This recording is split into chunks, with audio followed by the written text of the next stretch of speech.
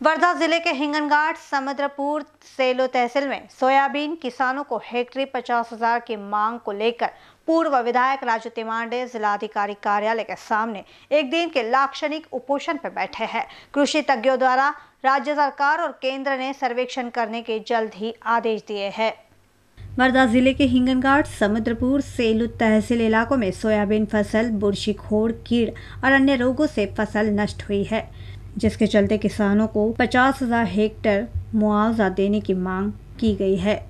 आज की स्थिति में किसानों की पूरी सोयाबीन रोग से नष्ट हुई है, जिसे किसानों द्वारा अपने खेत की फ़सल नष्ट की जा रही है।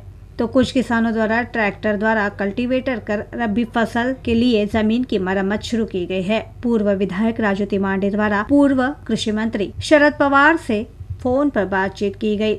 और इस विषय से उन्हें अवगत किया गया। तब राज्य सरकार, केंद्र सरकार द्वारा कृषि तज्ञों की टीम भेजकर सर्वेक्षण किया जाएगा। साथ ही पचास हज़ार हेक्टेयर रुपए मदद पीड़ित किसानों को दी जाए, जिसके लिए पूर्व विधायक राजू तिमांडे जिलाधिकारी कार्यालय के पास दो दिन के लिए लाक्षणिक उपोषण पर बैठे हैं। इन न्यूज़ के लिए हिंगनघाट से रवि एनोडकर की रिपोर्ट।